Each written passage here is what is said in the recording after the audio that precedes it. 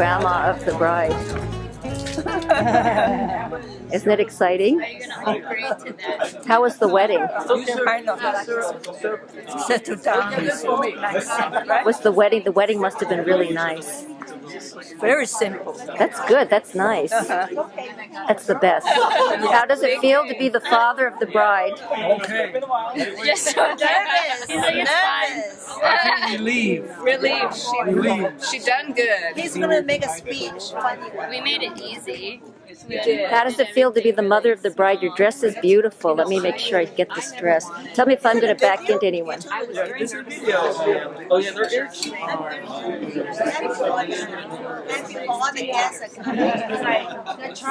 I know.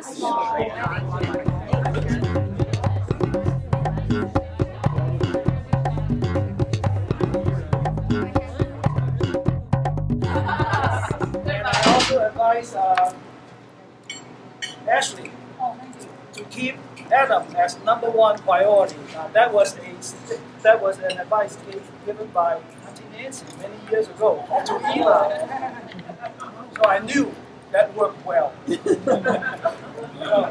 that, I'm going to pass the baton on to uh, Adam now. now. So Ashley is into Adam's hand. And so from now on, okay, I will just take a rest. Thank you.